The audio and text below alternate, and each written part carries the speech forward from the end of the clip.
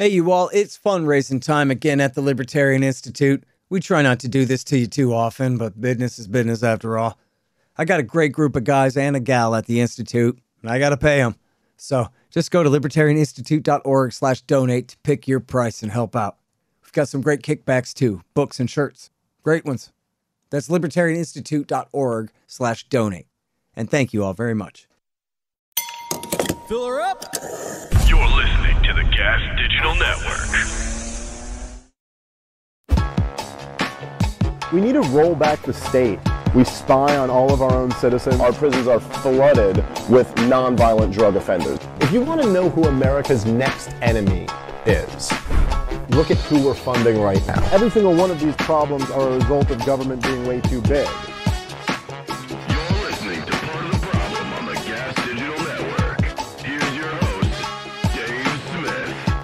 What's up? What's up, everybody? Welcome back to a brand new episode of Part of the Problem. I am very happy to welcome back to the show one of my favorite people out there, one of the best guys we've got. He is Keith Knight. He is the host of the Don't Tread on Anyone podcast, and he just released the Voluntaryist Handbook, uh, which is a phenomenal book. I highly recommend everybody go follow Keith Knight, watch his show, purchase the book. What's up, brother? How are you?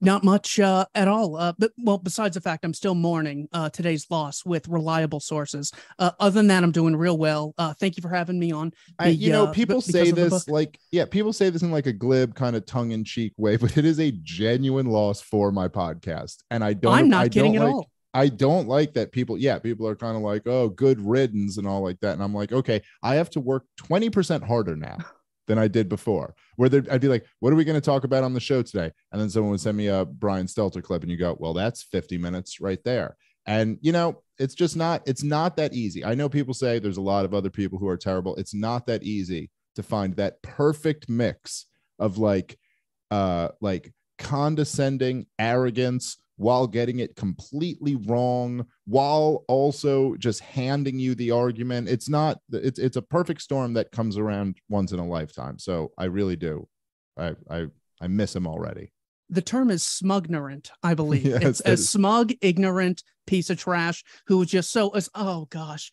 Uh, I I can't believe. Don't you know that this is anti-democratic? Uh, when they sort of give you that, when Yes. everything starts with a sigh, "Ah, I can't believe I Mhm. have to continue to explain this. That is the uh, sort of feeling. But it's guys like Brian Stelter who gave me the confidence to do. I don't know anything. If everyone was as smart as Scott Horton and Hans Hoppe, I'd be like, God, Yes. I can't do anything. But then I see, oh, people are willing to listen to Brian Stelter. All right, I guess I can start a podcast then. well i That's I all the same way. I mean i feel like even even like bad guys because you get you know scott horton and, and hans hermann hoppe okay those are two really strong examples. But even like guys like you know if you when you look at like what the tv was in the 70s or whatever if it's like if it's uh um you know gore vidal having a conversation with uh you know even like buckley two bad guys you know what i mean? But at least you'd listen to that and be like well that's kind of daunting and these guys are really they really kind of have their shit together. But today you're like look i'm an idiot but i'm smarter than all these people so it's very easy. Let me go i'll go do this. No problem what a white pill that is. I mean, it's not like we watch the president of America, huge, powerful country, and the president, oh, this guy's got to be really smart. And his press secretary, it's got to be really hard to get anything passed, whoever the secretary is. So if we want to respond, we're going to have to get a ton of minds together and really go through the arguments and have books ready. You could do a live stream commenting without Oh, yeah. any preparation. I mean, it's so ridiculous. And that is, I think, one of the greatest reasons we can be so optimistic because it's that much easier to create insecurity in the minds of the people we're trying to communicate to. It's going to be hard to, you know, get them to say, "Ah, I guess I've been wrong for 30 years and the last thousand Facebook posts have been totally illegitimate. That's that's a tall order. However, Yes. just to make them so insecure to where they sort of like lean into us, stop hating, and sort of ex- uh, uh, uh, accept uh, the privatization of everything, I think that's really uh, where uh, we should uh, go with this. I yeah, I so I this was a major theme on this show on part of the problem for for years when I first started, where I used to say, look, I'm not sure that I can convince you of libertarianism or convince you of anarcho-capitalism, voluntarism, whatever you want to call it. Um, but I guarantee if you listen to this show, I can convince you that the establishment is full of shit. Like I guarantee I can convince you that the Democrats and the Republicans and the corporate press all suck. Like that, I I will I, I guarantee you, if you give me just like three episodes, you'll be like, yes, I'm sold on that. So that's where that's what I'll start with that. Like maybe uh, uh, maybe you don't believe that the the guys I read have all of the answers, but I'm telling you, you can't tell me this guy isn't full of shit. That this doesn't make absolutely no sense. And I wrote that for quite a while. Maybe I'm still writing that. I don't know. Anyway, it's but yeah, that's that we at least can do that. Well, there's uh, there's so much to ride there. I mean, I will. Uh, uh, I had a woman say to me the other day, "Oh gosh, you're an anarchist. Um, what are you, one of those like bomb makers? Oh, I don't know about you." And I said, "Okay, so you're against people making bombs. You familiar with governments uh, not only making bombs but using them and Yeah. using them on civilians, not just like evil pedophiles or rapists or anything. They actually kill civilians, not just the American government, but it's happening in Armenia, it's happening in Yemen, Pakistan. Uh, there have been wars in Latin America. Did you know that there was like a world war that happened two times and it was governments murdering tons of civilians? I mean, I know it's terrifying that an anarchist might have a bomb that might explode and hurt a person, but the very thing that you're kind of against applies sometimes to anarchists, but applies a thousand fucking times over to the people who you pledge your allegiance to. Yeah, right. And like, yeah, we absolutely should start stop those anarchists who would be detonating bombs. But again, it's like if your worst case scenario about an anarchist is what states do all the time, every day, then yeah, it's a yeah. Anyway, so so okay, so you just uh, put out this book, the Voluntaryist Handbook. Obviously, was was inspired uh, by by Michael Malice, who put out the Anarchist Handbook, and you made a kind of like a more specific version of this, which is specifically about um more our brand of anarchism which is kind of you know uh, the the true voluntarist um uh libertarian version of anarchist. But within that spectrum you have voices from the left and the right within that that area. So what for what for people who don't know what is the book? What made you want to write the book? The book is a collection of 48 essays and two or 47 essays and three sections of different uh, quotes on certain topics. That is my attempt to give anyone who's generally interested in politics the ultimate understanding of what libertarianism really is. So the main reason that I wrote it is so I I could you know tell people there are a thousand books I want you to read, tons of articles, tons of speeches. But if I only had one book, what would I give them? And I would think, you know, Hazlitt's book is good, but it doesn't explicitly advocate voluntarism. Hans Hoppe's good, but there's some things about monarchism that might turn people off in there at the beginning. So I said, you know what? Can I stop complaining and just be the change I want to see in the world? So I wanted, so it was really Malice's book that motivated me to, uh, to, to do this. The reason I think it was important to make this on top of uh, Malice's excellent contribution is because the concept of a society without a state that would be communist, it actually would not be anarchist in the sense that it doesn't respect people's right to make uh, voluntary contracts in the form of exchange. Uh, usually it applies to labor, but this would be sort of anything that resulted in inequality and a quote, exploitation of someone's labor.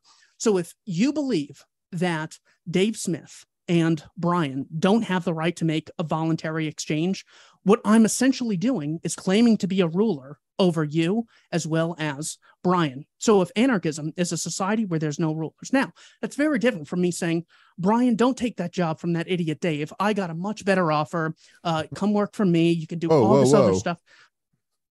Dude you could probably beat me real quick okay i don't like this example anymore yes but I- Okay, so Dave's working you. for Louis J. Gomez, and I offer Hey. Dave a, a, a a much more attractive salary. now we're Uh, talking there's all these things you can do. There's so many methods of persuasion that you can use to uh, get someone to achieve your ends. What the anarcho communists would do is not recognize the legitimacy of that voluntary exchange. Consider uh, internships where people get their foot in the door and they get tons of on the job experience. They see what it's like to deal with customers, deal with coworkers. That is so valuable. And that is literally labor for a little less than minimum wage, sometimes zero dollars an hour but they have a right to do that. Anytime you're reading books or trying to research for something, you're not necessarily getting paid.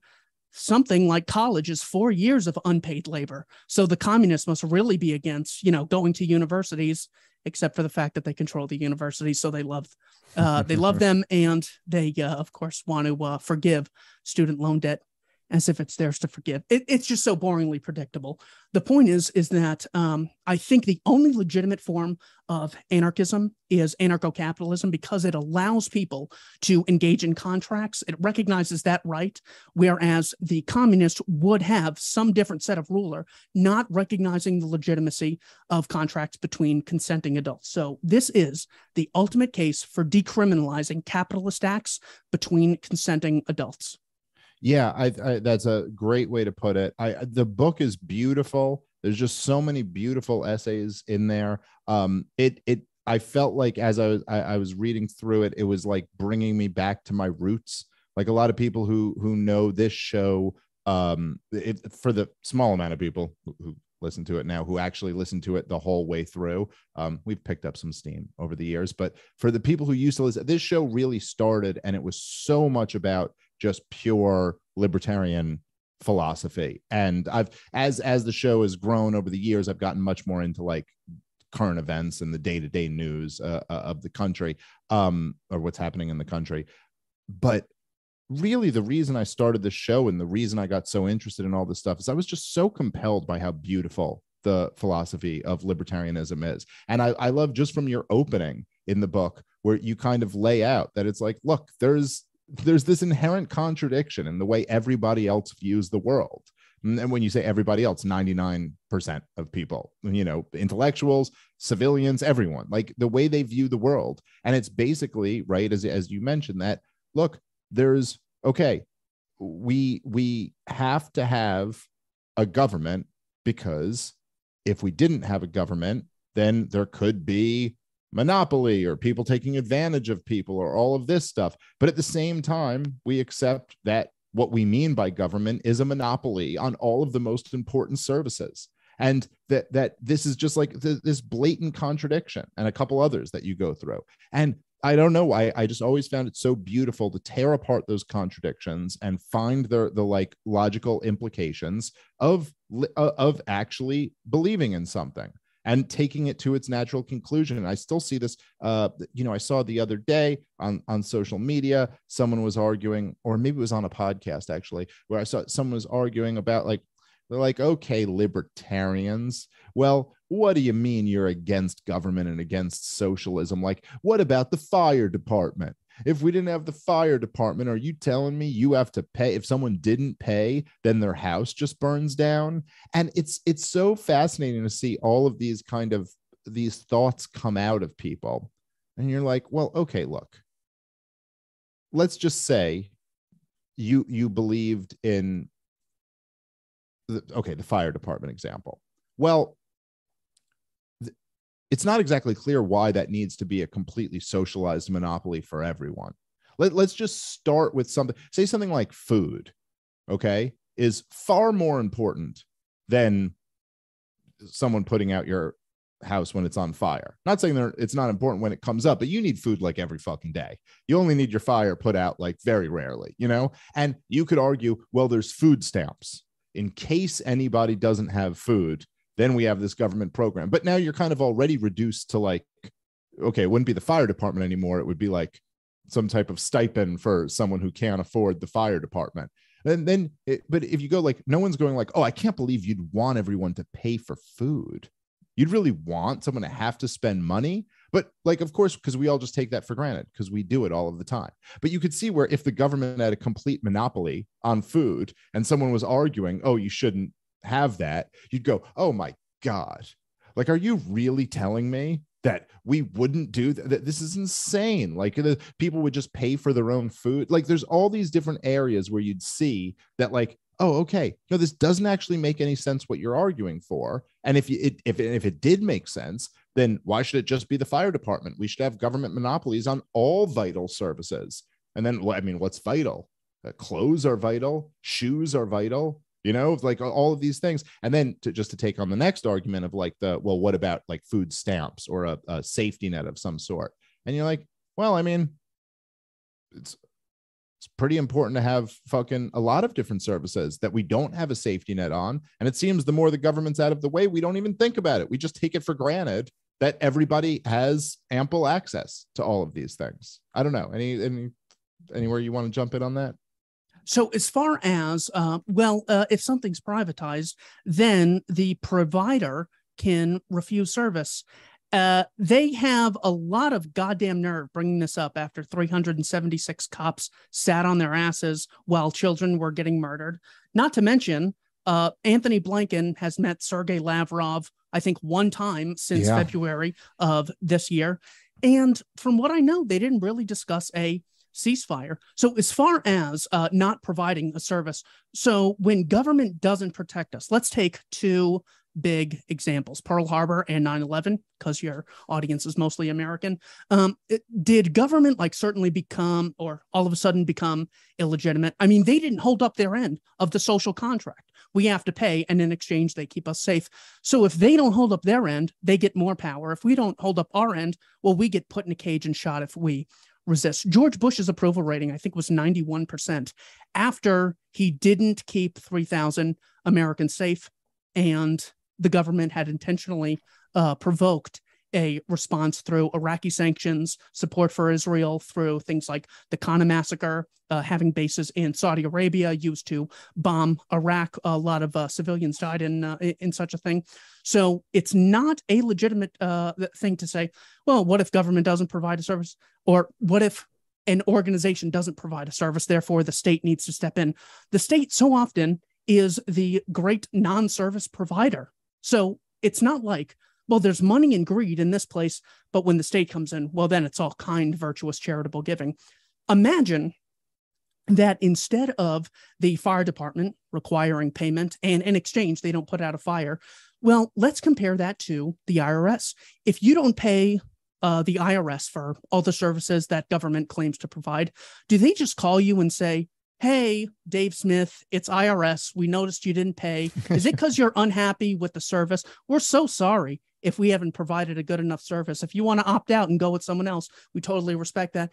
No, they not only won't provide the service, they won't provide it after they've confiscated your house, put you in a cage, and left your children to be raised by total strangers in foster care because you didn't chip in. So, in both cases, you can have people not chipping in. In the status case, you get put in a cage and don't get the service. And in the private market case, you might not get the service, but you might have a fire extinguisher fire departments would work like AAA works today, where most people can join for very cheap. And if you don't join and you're in an emergency, they'll help you out. They'll send you a bill. Uh, you can read Tom Woods' book, uh, How the Catholic Church Built Western Civilization. Charities are very well known in the West because people who believe in God, they see every human being as an extension of themselves, made in the image of God. Uh, th- there's there's tons of examples. You, you mentioned a, uh, a a number of things here. Um, as far as the beauty of libertarianism, this is also something that I really liked because you can say, I have a philosophy about human beings. Uh, they're rather selfish, uh, or rather self-interested, and uh, you can still recognize that and say the beauty of the free market is that it harmonizes the interests of individuals cooperating in such a way. So it's not that uh, Steve Jobs said, God, I really like Keith Knight and his family. I'm going to create Macs for them. right. He did this in his own self interest. And I didn't buy this Mac because, well, I really like Tim Cook, the current CEO. Therefore, I'm going to chip in and help him out. It- it's he wants my money and I want his service. So it, when it comes to the state, well, they can just demand any amount for any reason. It'll probably go to the Banderite Azov battalion, anyways. And if I don't chip in, they'll cage me. Well, that is a rather primitive disutility of arranging a society. Whereas Sheldon Richman makes the point that social cooperation is so vital.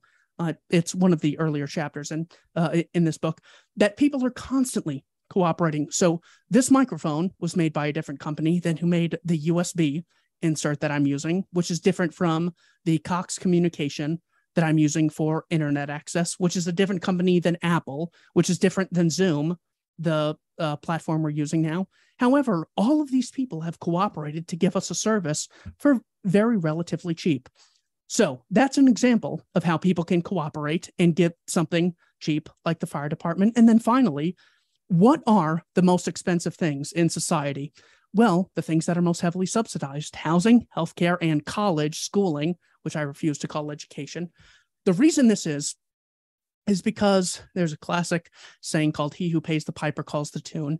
And this means that when uh, producers have to answer to customers and customers pay the producers they have to answer to customers you don't produce a good product or service you end up like sears blockbuster myspace a&p grocers any of the companies that marxists don't believe exist that the capitalist just rakes in money without anything on the other end you constantly get this feedback mechanism of hey i not only approve of your product or service i'm willing to bear the cost of allocating my scarce money supply towards your product or service. So the most subsidized things are the highest cost because the producers focus on pleasing politicians as opposed to pleasing producers, whereas things like cars, printers, microphones, computers, um, routers, these have all drastically decreasing costs while increasing in quality. Yeah. So if you care about the poor, if you care about morality, the only uh, the, system that you could advocate is voluntarism because it's the ultimate check and balance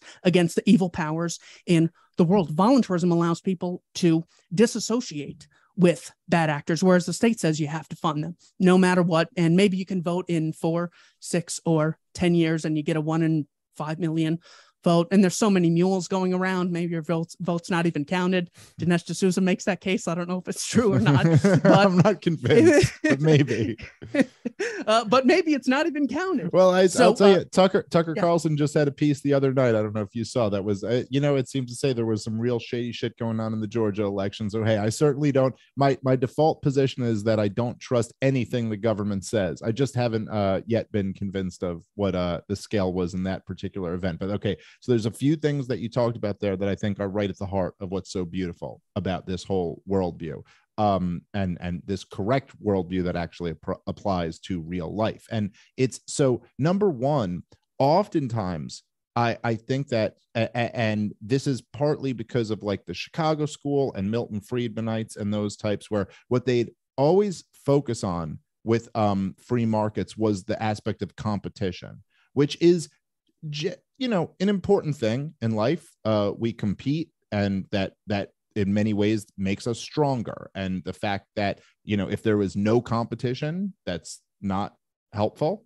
And when there is competition it makes you step your game up. As anyone who's ever competed in anything knows. But the, the aspect that you're talking about about cooperation is so much in my opinion so much more prevalent in market activities just no matter what you think of you know if you just think about like going to the grocery store what that actually entails you know it's it's like uh like the amount of cooperation okay uh, just from the very beginning, it's my wife being willing to go for me. Okay. So she's already cooperating with me and agreeing to go do all of our grocery shopping. She's getting in a car that was built by not one person, but like hundreds of different companies when you include all of the different pieces that are involved and who services it and all that. She's going to a store where there's some landlord who rented out this store to a Whole Foods and they're in agreement about that. They have an agreement with a butcher who has an agreement with a, you know, the like a trucking company that moves it to them. They're everybody, and we're all, and then she's agreeing to purchase things at every specific price. There's so much like so many different things coming together that everyone peacefully in this harmonious fa- uh, uh, like uh, uh, way is agreeing on what they agree to and what they don't agree to. And then the other thing as you you uh, touched on earlier is that what the market has that the government doesn't have is a cleansing mechanism.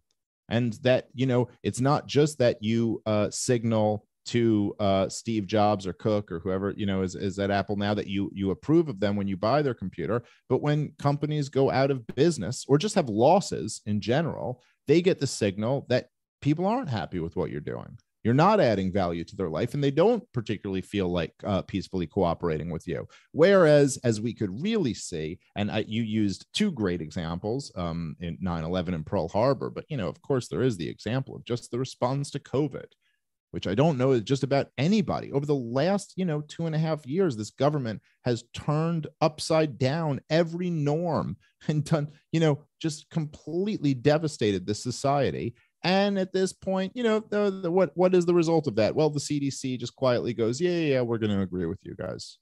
We're going to say, hey, I guess we're not going to do all that stuff anymore. We're just going to do it your way. And all of them still have their salaries and their pensions and their everything. You know, it's like, so Liz Cheney is a good example the other day, just got absolutely wrecked in her primary. And I've I've seen some of these people saying, like, you know, well, she took a courageous stand against Donald Trump. And it's like, well, okay. I mean, yeah, I, I mean, look, if she hadn't have stood up against Donald Trump so much, would she have had a better chance of not losing her primary? I, I will concede maybe that would have helped. Um, courage. She has a net worth of like $40 million.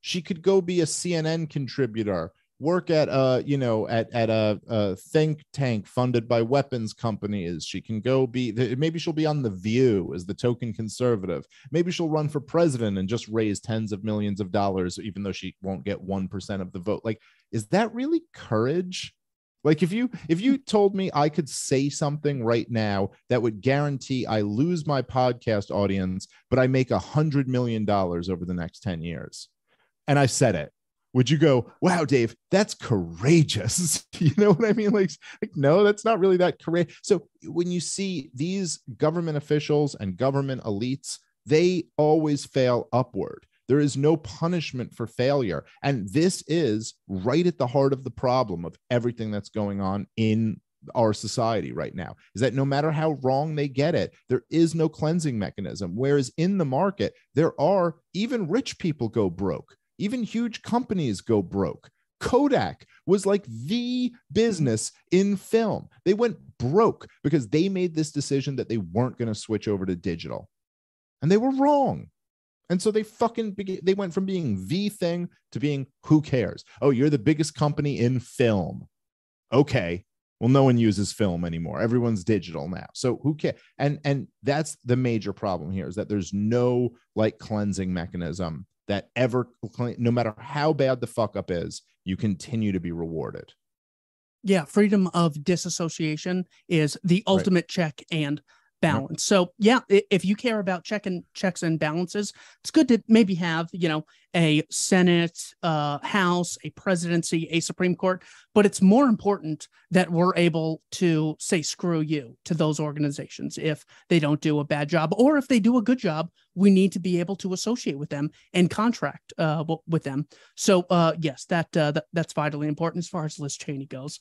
I mean, how is it called courage when you take the position of every professor, everyone in the media, everyone in Hollywood, the vast majority of Democrats who uh, control uh, the uh, cathedral's narrative, tons of podcasters, blue check Twitter, Facebook, when uh, Zuckerberg comes out and only says uh, election misinformation applies to Russian disinformation, not um, Hillary Clinton said uh, 17 intelligence agencies confirmed Russia interfered in the 2016 election. That was redacted on June 29th of 2017 by the New York Times. So did Facebook come out and apologize? No. Uh, Joe Biden on the presidential debate stage said that uh, that 50 Intel officials, not just one, two, three, 50 Intel officials confirmed this laptop of my son is a Russian plant. So no problem. I mean, he's just provoking a war with a nuclear power. You know, it's not like an anarchist built a bomb or anything. Uh, all of these things are much uh, more uh, misinformative than anything that uh, could, could occur otherwise. So yeah, the the need to disassociate with bad actors is so vitally important. Yet it's the one thing that the state doesn't allow us to do because it necessarily relies on forced association. Yeah, well, one hundred percent. All right, guys, let's take a moment and thank our sponsor for today's show, which is Truebill. Do you know why free trials renew without your consent? It's a business scam out to get you. Don't let these greedy companies pocket your money. Download Truebill and take control of your subscriptions. Truebill is the new app that helps you identify and stop paying for subscriptions you don't need, want, or simply forgot about. On average, people save up to $720 a year with Truebill. Because companies make subscriptions hard to cancel, Truebill makes it incredibly simple. Just link your accounts with Truebill, and Truebill will cancel your unwanted subscriptions in one tap. And your Truebill concierge is there when you need them to cancel any unwanted subscriptions so you don't have to. I'll tell you, this is an incredible idea. I don't think I've ever subscribed to a recurring subscription that I've canceled unless I've unless I've lost a debit card or something like that. And there's a bunch of stuff that I don't need and I don't even know why I signed up for it. So Truebill, they have over 2 million users. They've helped save them over a $100 million. Matthew B said, in a matter of seconds, I saved $660 for the year on my DirecTV bill, $120 for the year on my Sirius XM bill, and I saved $840 a year on car insurance. Don't fall for subscription scams. Start canceling today at truebill.com slash POTP. Right now, go to truebill.com slash POTP. It could save you thousands a year. Truebill.com slash POTP.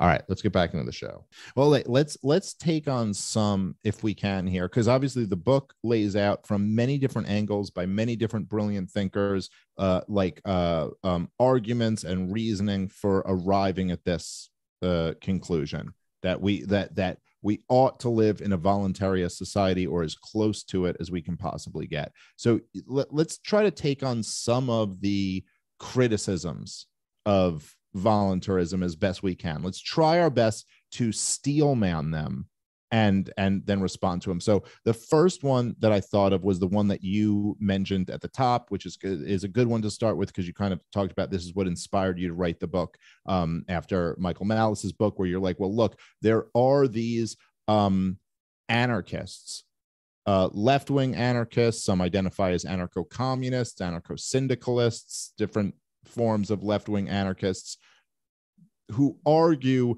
that me and you are not really anarchists. And if I could make their argument as strong as I can for them, I, I will attempt to. And there is there is a little kernel maybe of truth in how the the what where these words originate from, right? So anarchy means without rulers, um, and hierarchy is also in the form archy with rulers at the top, right? So uh, uh, where there are there is an order of rulers. So they'll say, look, if you're not against hierarchy, then you're really not against rulers. And therefore, you people who believe that someone could be the business owner and someone could be the business worker and someone could be, you're really not an anarchist, even though you're against the state. You, you know, in, in some sense, you're not really an anarchist because you don't believe in ultimately kind of like achieving these egalitarian ends. Uh so I, I don't know. Is there a better way to steelman the argument or what would you say? They'll say you're not really uh if you believe in landlord and tenant then that's that's still some you know you're not truly an anarchist. Or if you believe in employer and employee this person still has this ability to say well you do this or you lose your job. And if you lose your job you're going to be destitute and blah blah blah. Is there is there first off is there a better way to steelman that argument? Or and, and if not what would your response to it be a uh, th- that's a pretty good way to steel man because we've uh, heard it so often. Uh, m- maybe uh, I would say uh, the anarcho-capitalist does not allow the individual to reach their full creative uh, potential because a number of institutional barriers that exist as a result of previous aggression uh, currently exist in Yeah. society today. Therefore, things like employers, which exist because of a power differential, do not allow individuals to live life unruled. Therefore, uh, anarcho capitalists are not anarchists. That's all bullshit. Um, so uh, on page three, I have a list of terms just because a wise man once told me that so many disagreements come down come down to uh, different definitions of the same term. So if you think capitalism is just people being greedy for money, I would be totally against capitalism. But how on earth is it greedy to want money voluntarily, but the socialist who wants to take money by force and threatening to cage you? Well, that's not greedy at all. That's just caring about people. So when I define anarchy on page three in the terms section, I say from the Greek prefix an, meaning without or in the absence of, and the Greek noun archon, master ruler. Anarchy does not mean without rules. It literally means without rulers, without masters. So the difference between someone heavily influencing you and someone being a ruler is simply your consent. This differentiates trade from theft, slavery from work, and kidnapping from hanging out with someone at their house for an extended period of time. So if a man works and the woman stays at home, she would be ex- exploiting his labor because she's not working. She's just taking a portion of his income and spending it. And obviously, college, like I mentioned uh, previously. Um, anytime someone gives charity, well, that person didn't work and they're not obeying the labor theory of value. So charity has to be outlawed. Obviously, Social Security needs to be abolished and any sort of voluntary retirement program, well, that needs to go.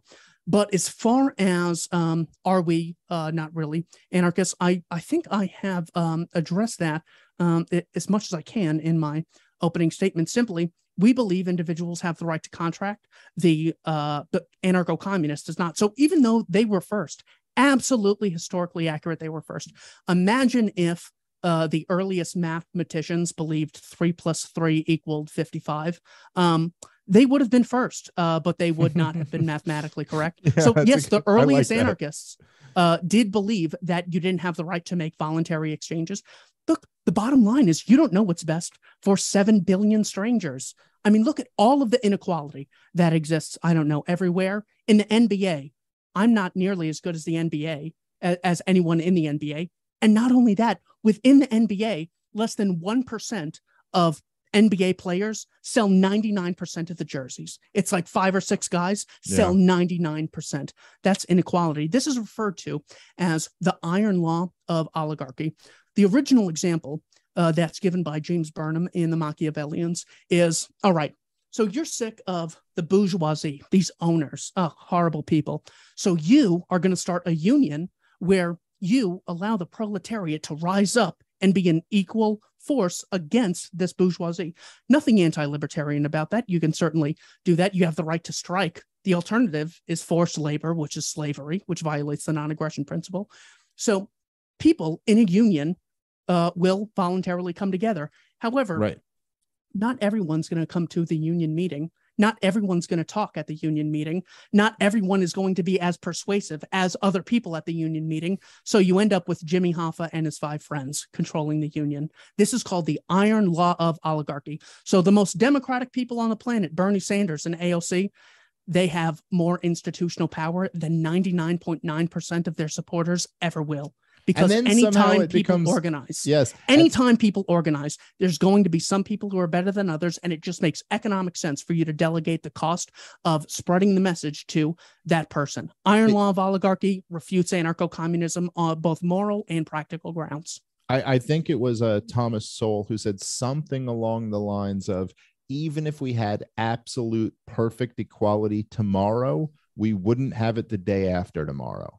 You know, like it's like even if you were somehow able to get this, you know, I, I will say that I think here's where there is, and I know this is semantics or linguistic, you know, uh, accuracy, but I think I'll, I'll, I'll concede this. I think that when we use the term anarchy, we are using it in the literal sense the way you were that, that that no rulers or without rulers but the term hierarchy also has that same root word uh, you know rulers in it. And that's not actually how everyone who uses the word means it. So when people talk about hierarchy it's it's actually there should be some other word that describe so in other words if there's a hierarchy where lebron james is you know way higher than some bench warmer he's not the ruler of that bench warmer. I mean the bench warmer could leave anytime he wants to. It's not like he doesn't I, like by our definition we wouldn't actually consider them a ruler or not a ruler hierarchy is just that there are obviously always going to be differences between people, and some people will achieve different levels of success. And the thing that a lot of these uh, leftist types who claim, well, you're not the real anarchist, they'll they'll make these you know they'll they'll make arguments like some of them i think their their rebuttal to your point would be well no no no we have no problem with you know people making voluntary transactions um to a certain point. You know like in the same way they'll go well we have no problem with personal property but we have a, a, a problem with private property. And they'll kind of say well you could have a house to live in your house but you can't have five houses and rent out four of the houses. But this, of course, becomes uh, uh, uh, they get themselves into a very a, a big predicament here, where you go, oh, okay, so you're so obsessed on this hierarchy part that you're foregoing the anarchy part. So, okay, you what does that mean? I mean, look, I could have a garden in the back of my yard. How much food can I grow? Enough for my family? How about enough for my family and a little bit to put away for the winter? Is that too much? How about enough to put away for the year? How about enough to put away for five years? I mean, when is your point of when I have too much that I don't need that? By the way, what does need mean? I mean, need, which is a, a word the commies like to use a lot, right? To each according to their need. Um, so what do we need? I mean, all of us have way more than we need at least in in the year 2022 if you're not in a third world country you have way more than you need so what do you need at what point does it change this is a completely arbitrary line and then the more important question is who stops me who gets to stop me when I've grown. See, this is where they, there's this big contradiction on the left with egalitarianism. As you go, well, everyone has to be equal you know, or, or as equal as possible. And so then if I have, you know, if I'm growing way more food, you know, maybe I'm growing enough food to feed an entire town. I don't need all that food, but I was growing it in my yard. I'm growing all this food. I don't need that. Well, who stops me? Who comes and takes it from me? Well, by definition, that person who uses force to take it from me is my ruler. And also, by definition, there's a hierarchy here where that guy has the decision making ability over me. So, actually, I would argue that the only true anarchists, even though I'll concede the term hierarchy is a little bit misused in terms of the, the literal definition using the word ruler, if you're going to use that term ruler with anarchy, the only way you can be an anarchist is to be a voluntarist capitalist, laissez faire, complete laissez faire capitalist. But that if you if if you don't support private property, then not only are you not uh, an anarchist, but you also have to believe in hierarchy, and you can't believe in egalitarianism because somebody would have to be in a higher position than me in order to make that determination. And this idea that just, well, the people make that determination is complete fucking bullshit. There's no the people, there are just individuals. And then who's going to fucking enact that on me? And again, even if it is the people, if it's all of the people versus me, well, that's not very egalitarian. is it? Hmm. It's it's a whole group of people with more power enforcing their will on me. So the question is, what rights do you have? And do you have the right to delegate those rights? So if my grandma has the right to defend herself, uh, she's in her 80s. It's going to be a little difficult. Yeah. So what she's going to want to do is delegate that. And she's kind of exhausted from, you know, doing anything. So she's not going to want to grow her own food. So she's going to delegate that. My grandma is not the only person out of the 7 billion people on the planet who want to delegate these things. So, what you end up having is people engaged in a division of labor. And therefore, some people specialize, have more private property in certain areas, and those areas become more productive as a causal result of being private. So it's not that well, now I'm being restricted and I can't go on that property because it's now private. You have more options than you otherwise would as a cause result of private property. So when I went to Florida recently for the uh, YAL 2022 revolution, because there was private property, I didn't have to say, God, I wonder if there's food there. Do I have to bring my own food? I, I just knew all these things that would be privately uh, available to me would exist because there's a profit incentive, because the resort was privatized. You would think that no one would be having any exchanges with anyone because everyone has their own private property and no one's everyone's restricting access so everything's in shortage mode no because there's private property there's much more of an abundance than there otherwise would be so that's the utilitarian case and then on the moral case look uh the guy uh, giving me a place to live, my renter landlord, he gives me a house. All you leftists give me is Antifa burning down houses. So if you care about the poor, make sure that there's a class which only benefits if they provide a good or service to those who choose to contract with them. I mean, all of the books that uh, I bought, I've spent tons of uh, labor reading them, and the author has reaped the benefits from my labor when I purchased them so what? That's a voluntary exchange I chose uh, to, to make. Anytime you allocate your scarce time on this planet towards something or other, it can be a sense of exploitation. You and I working to explain this to the dumbest people on the planet is means you and I have to send them an invoice or we need to put them in jail for exploiting our surplus labor. Uh, under no justification could you both support no people ruling anyone else and having the right to forcibly stop people from engaging in voluntary transactions. You don't know what's best for 7 billion strangers. Allow them to do whatever they want voluntarily. All right, guys, let's take a second and thank our sponsor for today's show, which is Masterworks. The rich always have a way to tap into secret sources of wealth. For example, I recently learned about an asset class reserved for the ultra rich. It's called aristocracy assets. The US aristocracy, the oil tycoons, the retail giants, and the real estate moguls all invest in this asset class that's been around for over 275 years. Considering it outpaced the S&P 500 over the past 25 years and it historically performed well during periods of 3% inflation or higher. You might say it helped defend the 1%. And while everyday investors are usually kept out of the loop, now you can get in on the action with aristocracy assets. Go to masterworks.art slash POTP to learn more. Invest in fine art. It's now securitized, and you can be a part of that. Use my special link and do your due diligence, of course, masterworks.art slash POTP. Before deciding to invest, carefully review important disclosures at masterwork.io slash CD. All right, let's get back into the show. So, have you heard this argument, which I, I got to say, I'm going to have a lot of trouble steel manning, but I've heard this argument made by uh, people who call themselves libertarian socialists.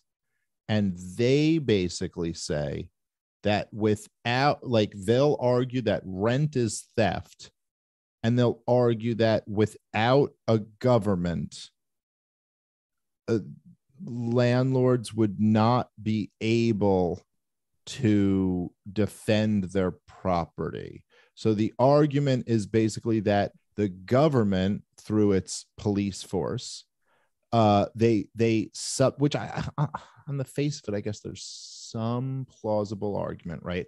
That uh, police protect private property. Now, this is, you know, let's say before San Francisco and, uh, and Los Angeles and the riots of 2020, man, you know, there was some off time where government police used to protect private property. And so, okay, their um their private property defense is subsidized by the government and so therefore if they didn't have that you know th- th- they're they're relying on the government to intervene to defend their private property or you know these are a similar argument to that will be that like private property is inherently kind of like a, a, a an act of violence because they you know you you are are arguing to defend it with force. I, I've seen these arguments made. I'm baffled by how stupid they are. Like number the, the thing that just jumps right out to me is just that like if you think of the average landlord who has like five or six properties, my guess is he's making,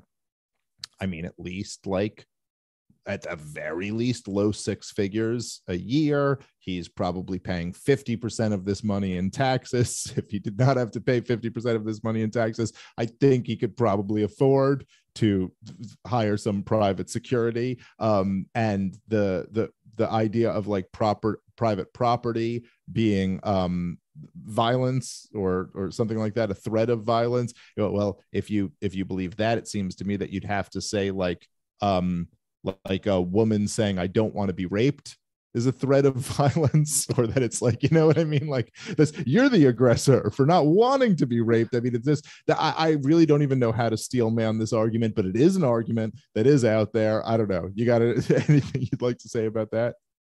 Uh, so, um, without the existence of a state to protect private property, the protection of private property would not exist. Therefore, anarcho communism is inevitable in the absence of a state.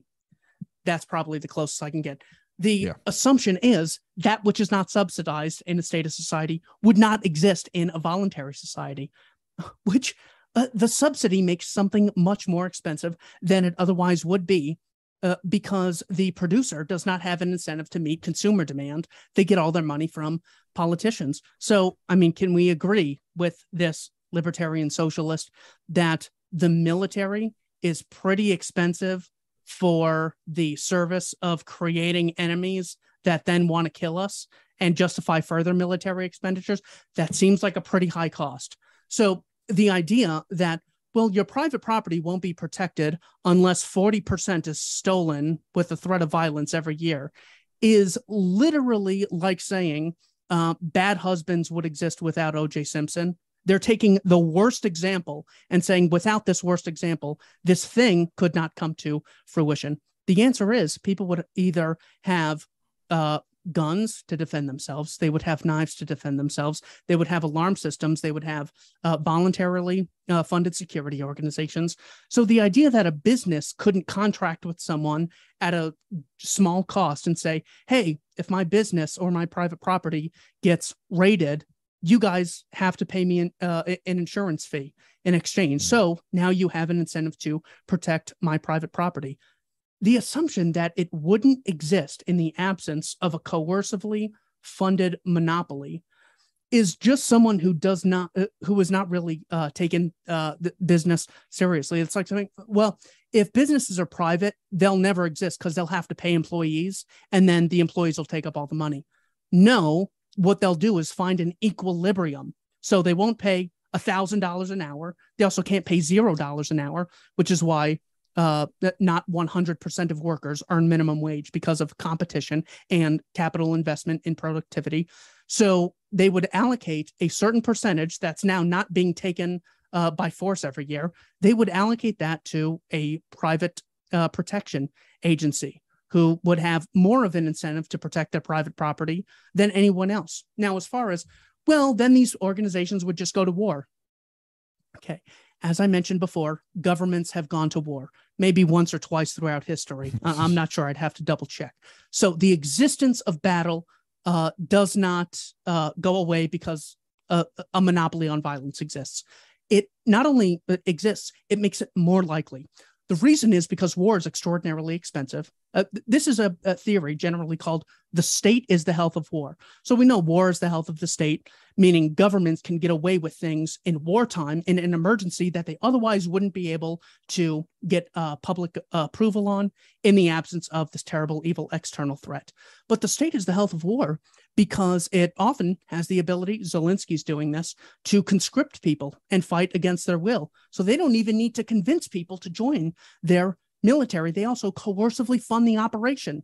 So if people say, you know what, uh, I think uh, it's better if Donetsk and Luhansk were independent republics, considering they voted for that in 2015 at the tune of like 90%, same with uh, Crimea previously. So, you know, uh, I don't like Putin. I don't like uh, Poroshenko, I think was the president at the time. But, you know, if the people voted, then that's uh, that that could be Russian territory. Ukrainian government doesn't allow that. They coercively fund the operation and now can uh, murder civilians for seven years, and then uh, the and then Zelensky can play the victim afterwards. So the very fact that the government gets to externalize the cost of war makes war much more likely to happen than it otherwise would. Some people hear that and uh, hear me saying that war only exists because of governments. Not what I'm saying. It's more likely to exist because government Right. doesn't have to bear the cost of recruiting people often and doesn't have to actually pay the price. They could tax it or they could just print the money. And third, they don't actually have a criminal justice system which recognizes violence as illegitimate when they do it. Uh, the collateral murder video comes out, and the guy who leaks it and the guy who shared it, Julian Assange and Chelsea Manning, Right. they're the ones who go to jail. I mean, uh, certainly. So having a legal double standard, coercing people to uh, join the operation in the form of conscription, and you know, male privilege. Remember, that's a totally real thing. And then uh, uh, taxing and printing everything else. So uh, in every case, the socialist has no justification. Private property. Uh, is justified because it relies on people engaging in voluntary contracts on a utilitarian basis. It makes things more abundant than they otherwise would be. And states, uh, collectivist organizations are more likely to go to war than ones based on voluntary cooperation. Yeah. Okay. I think that's to me that's a pretty devastating case. All right, let's move to the more the, those that was kind of the left uh wing criticisms. Let's move over to more the right. Let's start let's start BoomerCon and then go to more interesting, thoughtful right wing uh people. So the BoomerCon uh criticism of of libertarians might be something like all right well you want a completely anarchist society? Well look at chaz. Uh you know that's that's what you get when you have anarchy you're going to have you know the, just this kind of like lawlessness and craziness and violence. Um if we didn't have the police force and the military someone could you know there there'd be high crime in these neighborhoods. Putting people away in jail you know is what actually brings down the crime rate. We see uh you know as we're letting people out of jail crime rates are going up. As we're prosecuting drug crimes less crime rates are going up uh without the military i don't know. We'd all be speaking german or some dumb shit. I don't know. I'm trying my best to to steel man these arguments. Any of that what what what would you respond? German's a fine language. I wouldn't mind speaking it. It's a That's- harsh That's, very xenophobic. it's got I, I- very I, it's reject the question. tips. There's there's kind of like it's like a very sharp uh you know it could cut you with that language. But anyway any response So uh, one of my favorite articles in here is from a gentleman named Joe Sobran. He was the senior editor at National Review for 18 years. He was William uh, Buckley's right hand Mhm. man, and he came out and said, "Look, I've been a conservative my entire life. However." I talked to Murray Rothbard and it was interesting, but then I talked to Hans Hoppe and I just became an anarchist. The reason that he gives, uh, let, let me just quote one uh, one brief section, page uh, 136. Mhm. Gradually, I came to see that the conservative challenge to liberalism's jurisprudence of loose construction was far too narrow. Nearly everything to it all, I thought, was the 10th Amendment, which forbids the federal government to exercise any powers not specifically assigned to it in the Constitution. But the 10th Amendment had been comatose since the New Deal when Roosevelt's court virtually excised it. So, in other words, the conservative, the second they give this group, the state, a monopoly on an interpretation of a great document, what would be a great contract um, that you could write up for a number of people organizing together, maybe an HOA or something. The second it becomes monopolized, that means only one group gets to interpret uh, it. And you can come away with interpretations that are blatantly ridiculous. So when the conservative says, well, we need things like objective law, we have to have uh, the, you know, some way of knowing what's legal and what isn't.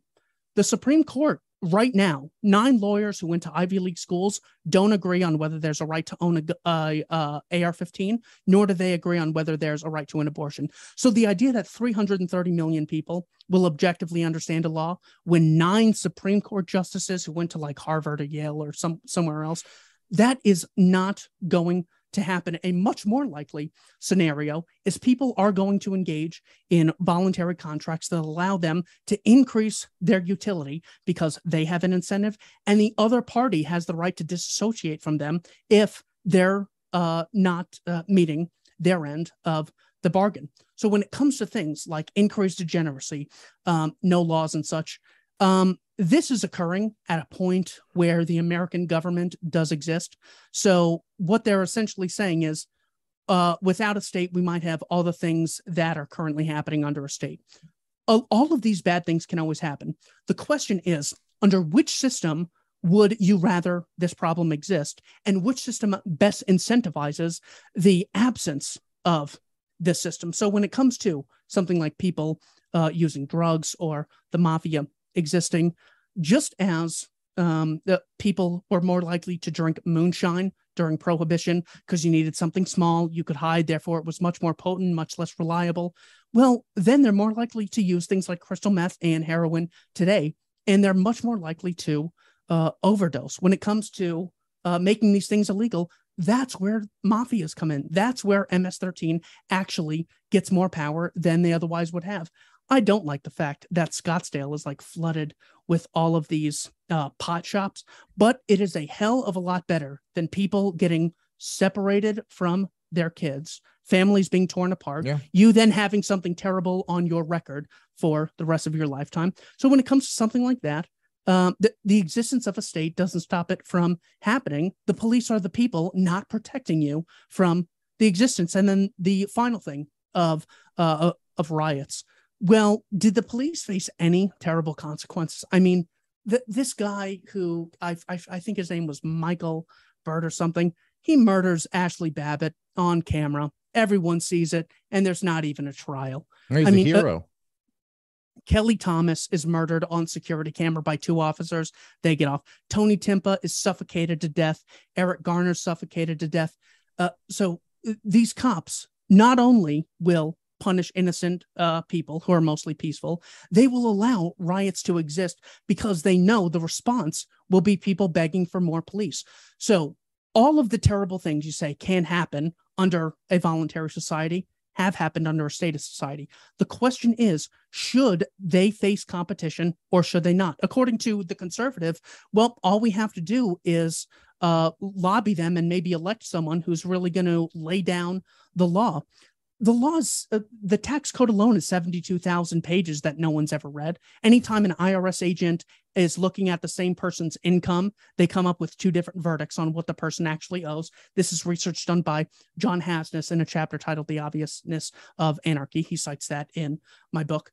Um, so, one, you don't get objective law where everyone knows drugs are illegal, crime and rioting is illegal. Therefore, uh, but we won't have it uh, if a state exists. It's more likely to happen because you don't have the competition incentive. Not to mention that the reason people believe all this trash and nonsense is because of government schools and universities, which push the debunk the racism conspiracy theory Right. that leads to all of these riots, which could be uh, certainly uh, c- considered blowback to, uh, to to some extent. So, uh, I mean, uh, none of that justifies a coercively funded monopoly. Yeah, they list a ton of bad things, but those things exist in any society. It's like saying, well, ignorance exists, therefore we need a state. It's just as bad as saying ignorance exists, therefore the Koch brothers need to coercively fund and monopolize schooling systems. That won't necessarily solve the problem. In fact, it'll make it worse. Same thing with the state. Yeah, ab- no, absolutely. And I mean, and, and ho- on the bright side, there have been a lot of people on that side waking up over the last few years. But man, I mean, if you could just see, you know, from the, if you look at the riots of 2020, from the fact that the whole thing was the cops' fault for sparking the event. Now, okay, I know that, you know, like George Floyd thing was absolutely inexcusable. The fucking no need to throw this dude who was having a panic attack on the Yeah. ground and lay your knee on his neck until he fucking died. Like it was just inexcusable. He wasn't even like a violent threat. It was just like fucking that cop was having some fun. Um, and then okay, yes, there were all of the race hustlers and all of these people who pushed it and all of that. But the cops fucking started it with this problem. And then once the riots fucking spread, you, you see the cops like they'll go up to like some little old man and push him down on his fucking head. They'll go throw some girl on the ground. But when there's a big group of people actually fucking looting and destroying and fucking people up and all this, oh, then they back off because it's not, you know, it's like if you can't look at that and just see, man, this is not the best system for protecting against this, then I can't help you. All right, guys, let's take a second and thank our sponsor for today's show, which is Liquid IV. The hot summer months are here. We need to be proactive about keeping our bodies fueled and hydrated. That's where Liquid IV comes in. One stick of Liquid IV in 16 ounces of water hydrates you two times faster and more efficiently than water alone. I got to tell you, I've been drinking this stuff and you feel the difference, especially if you haven't been getting as much water as you need. If you've been out in the hot sun,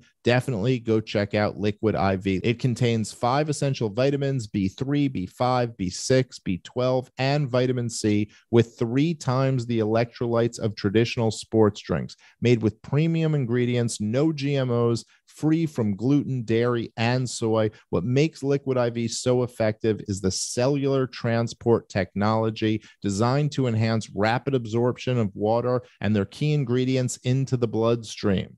For every purchase, they donate a serving to someone in need. To date, Liquid IV has donated over 24 million servings globally. So go grab your Liquid IV in bulk nationwide at Costco. You can get 25% off if you go to liquidiv.com and use the promo code problem at checkout. That's 25% off anything you order when you shop better hydration today by using promo code problem at liquidiv.com.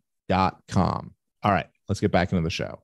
All right, let's move um let's move to the more uh, I think in some ways interesting uh critique of libertarianism, the kind of uh the the more hardcore right-wing neo-reactionary uh, uh, criticism of libertarianism, which some of it seems to be uh, led by uh, like or very influenced by uh, Curtis Yarvin. I know you did a long podcast uh, responding back to him, uh, which I thought was excellent.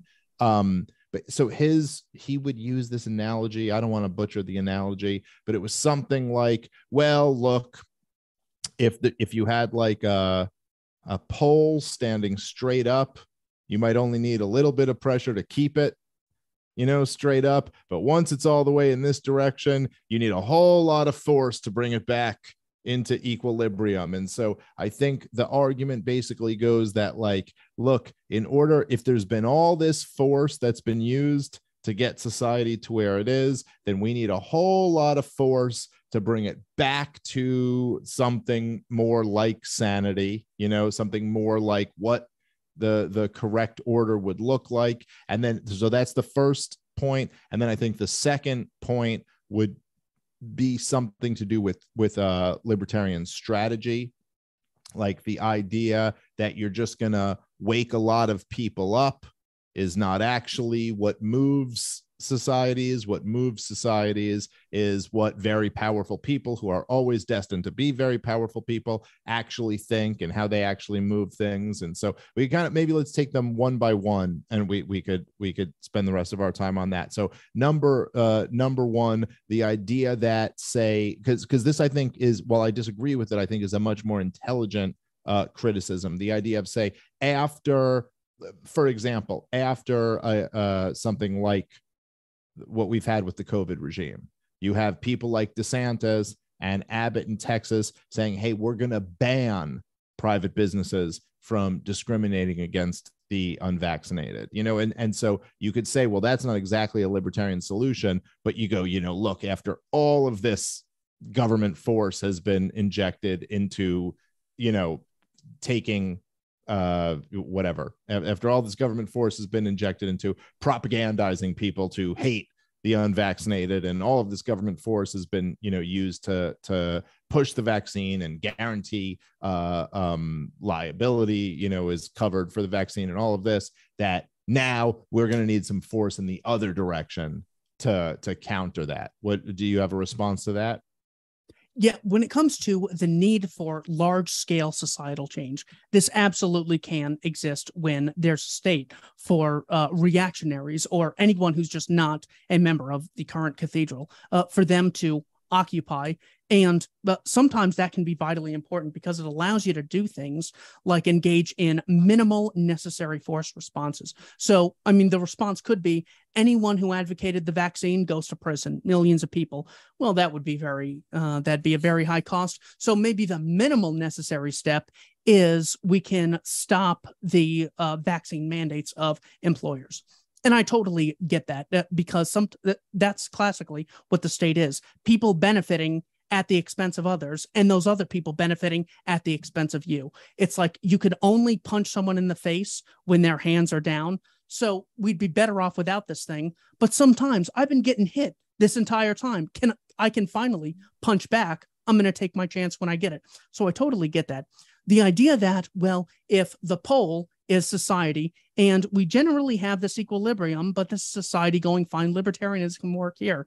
But if society is completely on its ends, Somalia, places like Baltimore, sad that that's an analogy, but it happens to be. Um, then you need someone to really step in. Well, uh, the fallacy that's occurring is he's equating uh, initiating violence power with institutional power. So we could say that there is a problem where we can't really move things from one place to another. It's like we have a lot of stuff here, but it's needed over there. So therefore, you might think we need a monarch to step in and control things. Well, what's happened historically is a guy named uh, Cornelius Vanderbilt competed with a guy named Edward Collins, and Collins got uh, up to a million dollars a year uh, from the government. He was subsidized, and Cornelius Vanderbilt was able to outcompete him in steamships. This is not some trivial little thing. Well, I think matches could be privatized. This is can human beings travel across water? And not just the kings of society, can the everyday person eventually be able to not just see the two miles that they live, uh, the, the uh, you know, two mile radius from where they happen to be born? Can they go from Manhattan to England? And can they eventually go to Argentina if they want? This is something huge when it comes to the Wright brothers. The government plan to build a plane was called, uh, I think it was called the Langley Project. I think the guy's name was Samuel Langley. So they said, well, government's going to build a plane. We're going to step in. We can't have some unstable pole. We have to have a stable, uh, stable plane that needs to be built. Of course, the Langley project failed, and two bike bicycle shop owners, the Wright brothers, with the help of their sister, actually made a plane, and that is what later led to the Boeing the 737s that many people fly on today. So there's two examples of large scale fast change happening and coordination as a causal result of privatization and not the need for a monarchy. Other examples would be the drastically uh, lowering in the price of oil as a uh, from John D. Rockefeller. Uh, whether you love him or hate him, that is an example of people fastly organizing something and quickly getting it out to the masses. Andrew Carnegie, when it came to steel, books, when it comes to the example of Jeff Bezos. I remember where I'd have to work probably uh, five or six hours of landscaping in order to afford a book. And now they're much more affordable because of people like Jeff Bezos. So it being a libertarian is not being against power and organization and people being very ambitious. All that stuff is allowed. Or Steve Jobs might even be a better example with computers and iPhones. So all of those examples, I just gave tons of examples of people organizing and society coming together and really aiming towards an end that's extraordinarily beneficial. That has to meet the standard of what Yarvin is uh, is claiming. Well, we need to get people together those are a number of examples of people uh, coming uh, together. His uh, Yeah. another thing he does is he says FedEx is an example of a monarchy. UPS is a monarchy. Uh, your car is made by a monarchy. What restaurant do you like? It's a monarchy. The reason it's a monarchy is it has a CEO. The CEO gives power to a number of underlings who hire employees who have customers, and then there's this feedback loop. The fact that he doesn't differentiate uh, or he does so in, ve- in very few pa- uh, places. He doesn't differentiate between the monarch we can choose to associate with and the one we can say he's not providing enough value, screw him. That is just unbelievable for someone who's read Hoppe, Well, especially the last few chapters of Democracy, The God That Failed. Are you telling me that if like uh, the Sears was able to issue taxes, you'd be like, well, it's the same as they were before? No, Well- it's not even close. Well, this is it, and it drives me crazy because it's like they're familiar with Hoppe, they've all read Hoppe, they all admire Hoppe, and yet they still in, insist on butchering him. So it's like, okay, Hoppe's argument, agree with it or don't agree with it.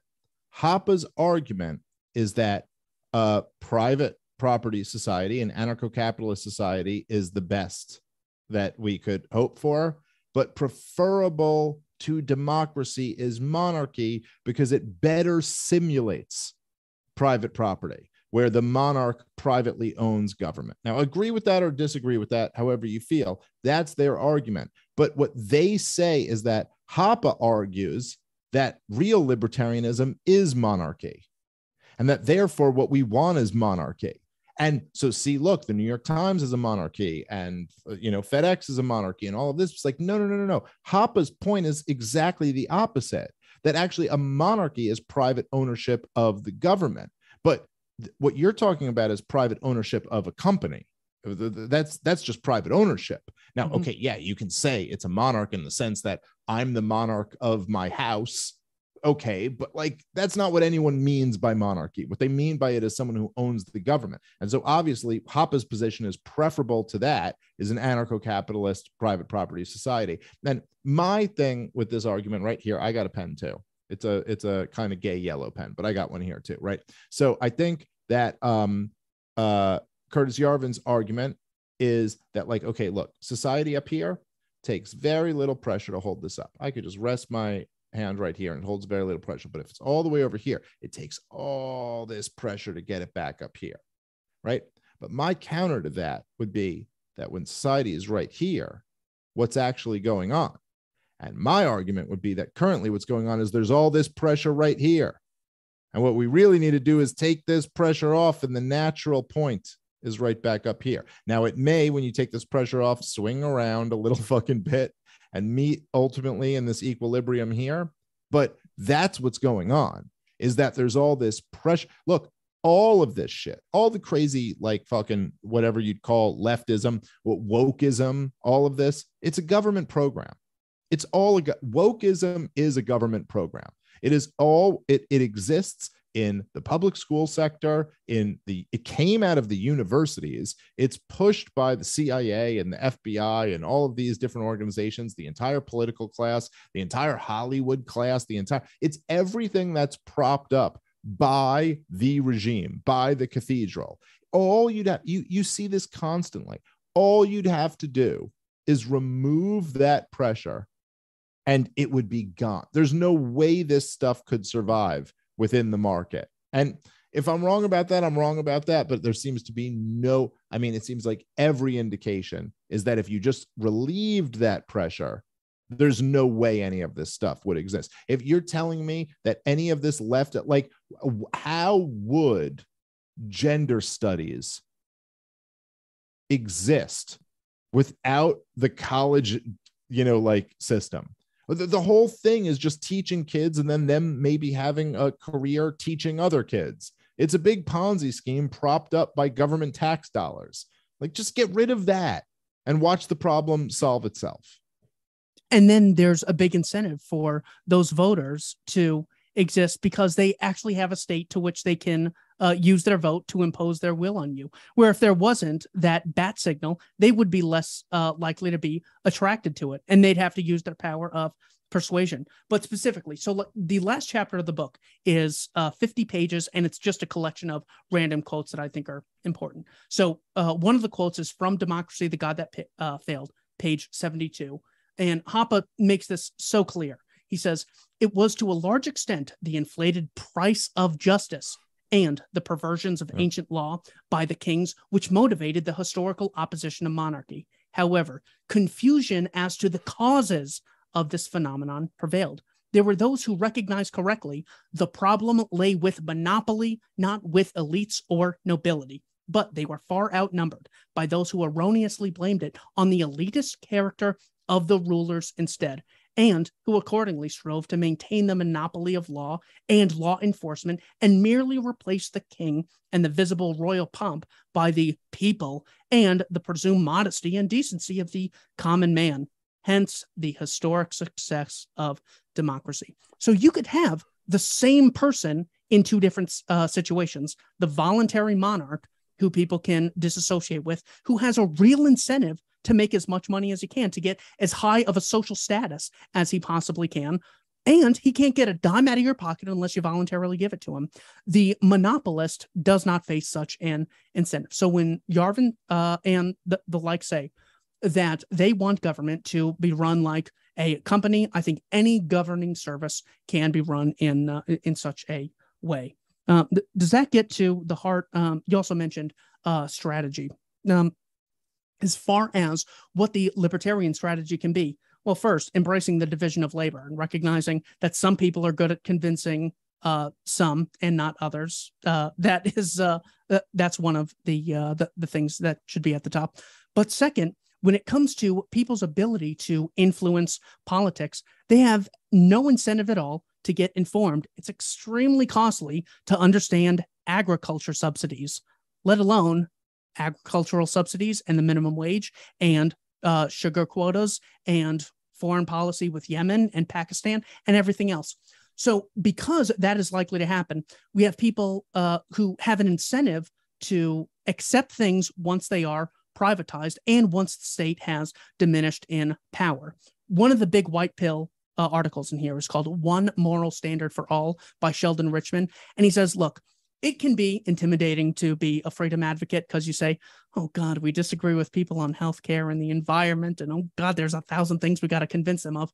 All we have to do is get them to stop believing in this uh, cult of statism, which is that morality applies differently to different people. Right. The complementary essay is How Private Governance Made the Modern World Possible by Edward Stringham.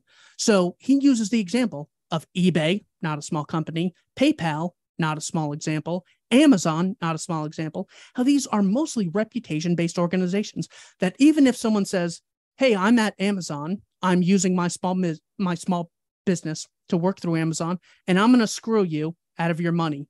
It still doesn't pay to use the government court system. You still use private arbiters, or you still comment, or you leave reviews, or you screenshot it and post to Facebook and MySpace. That threat of a bad reputation and decreasing your private voluntary income is a check and balance that the marketplace has. So it's not just convincing people, delegitimizing the authority. There's also the economic incentive that exists for people to not associate with the state, even if they love it, because association with it can be uh, extraordinarily costly. So uh, those are uh, two of the reasons I think libertarianism is not just some pie in the sky magical thing uh, that uh, you know we, we just uh, pretend is going to exist one day. So much of it exists now, so long as you don't have what Thaddeus Russell calls uh, the shame is the health of the state. That because people feel that they have an obligation to this thing, they tend to obey it. Once you expose them as the absolute criminals they are, well, then people like Steven Crowder are going to get on in front of his millions of viewers and say the FBI should be abolished. No one has an obligation to fund them or obey them. Well, that certainly is a step in the right direction. So I think uh, that Yarvin is uh, not correct on uh, both strategy or the illegitimacy of a possible libertarian strategy, as well as his uh, pencil analogy. Uh, did I answer that, or am well, I evading I think, anything? I think you answered a lot of it. I guess the final thing, and we could we could close on this is the in terms of in the realm of strategy i think what some of uh the neo-reactionary types would argue is that you know, it's just even convincing more people is pointless.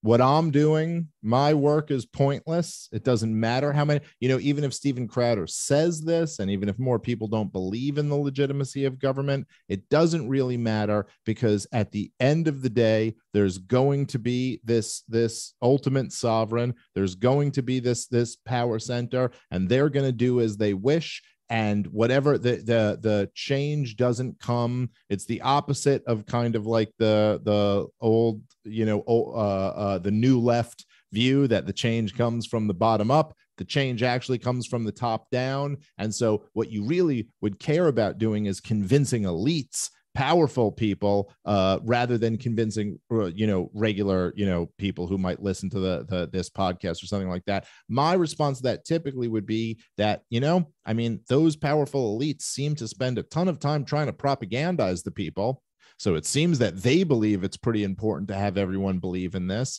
And so I think it's probably pretty important to unplug people from that, you know, that propaganda and to counter it. Um, but I don't know. Do you have any anything to that, or do you think is that their their argument exactly, or what do you think?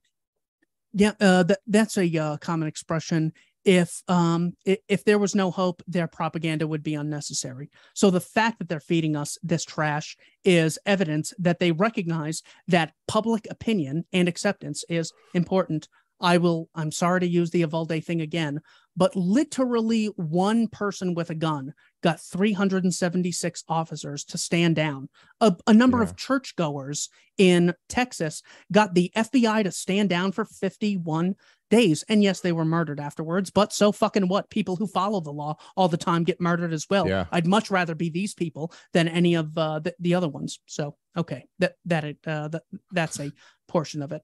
Um, also, the power vacuum argument doesn't recognize the importance of public opinion when it comes to a power vacuum. So, if everyone believes in the concept of statism, some people have a right to rule, others, and this right uh, exists as a cause result of people voting. It's only voting through this institution. If any other institution voted, that would be initiating violence against peaceful people.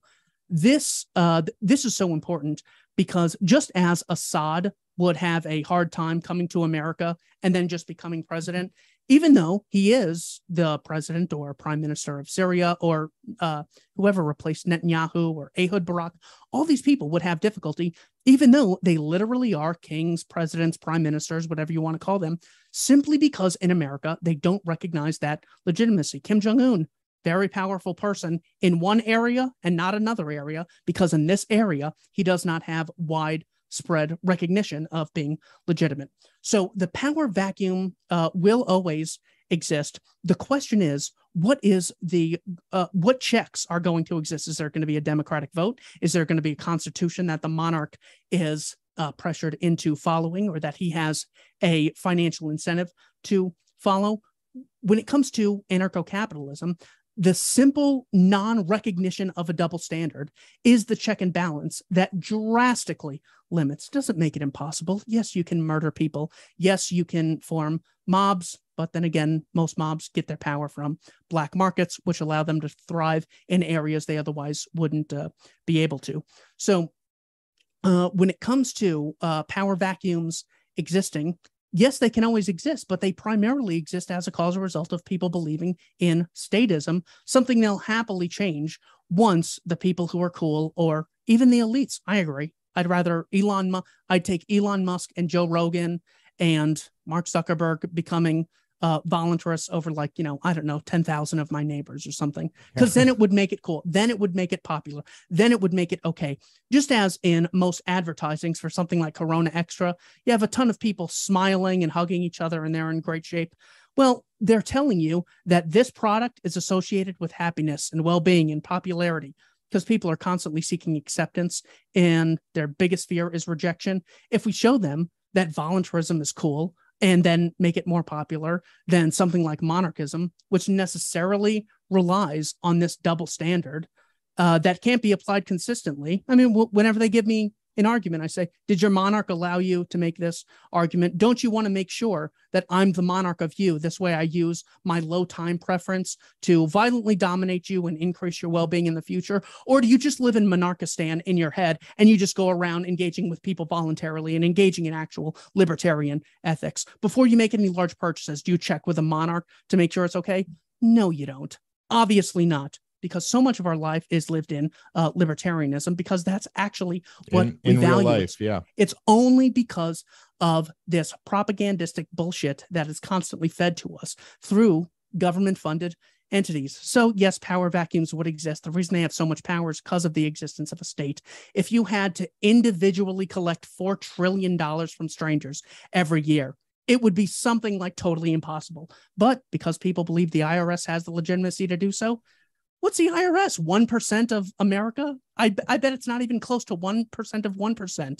And they're still able to collect more than any mafia could ever dream of because people recognize the legitimacy. Once a very small percentage of people stop recognizing that legitimacy, the cost of the state to enforce its edicts becomes way too high. And we have to, uh, I don't want to say we have to, but it's also important to get people to just hate this organization. So Yeah. showing them the Kelly Thomas video, it's not like, well, I'm really cheap. So I don't like that I have to pay taxes. It's I hate this organization that kidnaps people for victimless crimes. I have a chapter in here uh, titled Homelessness, Regulation, and Exploitation. Two cases, one in Los Angeles, a guy named Elvis Summers, and a guy in Washington named Jay Austin. They built houses for the homeless for between $1,000 and $50,000, and the homes were confiscated by the state.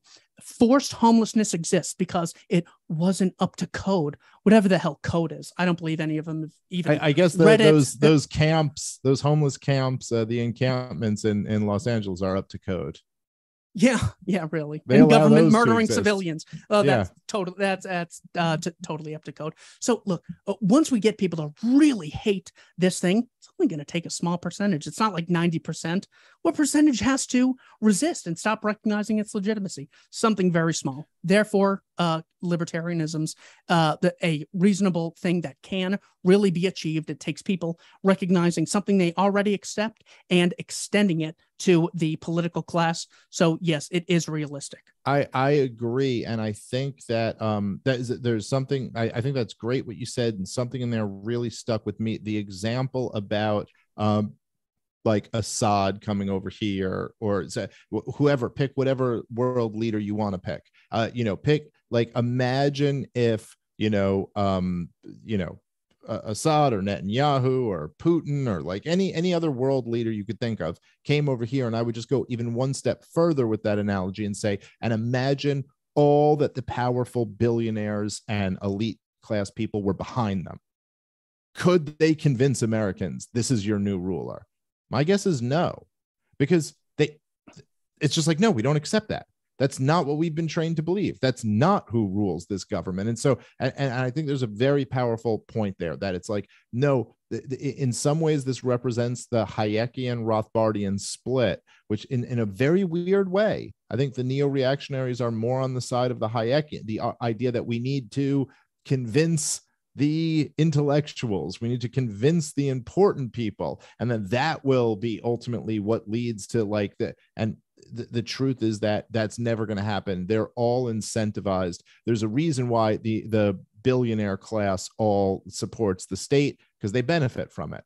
Um, and the we have a much better shot at just convincing the masses. And i think if you reach enough it's it's critical mass but i think as you pointed out critical mass is way lower than most people think it is. I don't think it's 60% i think it's like 10% of society. You convince 10% of society and then you're going to be in like you- you're going to be blown away by what changes. Um all right listen we we got to wrap up there. Dude i've really fucking enjoyed this. It's been way too long since the last time. I promise it will not be as long uh till next time i have you on. Guys go follow keith knight. He's one of the best guys we got go purchase the uh voluntary i almost said the anarchist the voluntaryist handbook uh it's phenomenal and go check out his show don't tread on anyone uh anything else that you want to plug libertarianinstitute.org. Of Uh, course, me, yes. Scott Horton, Kyle Anzalone, Sheldon Richman, a ton of uh, authors there. Uh, our general goal is to create an educational archive that you can go to. You can use the search engine,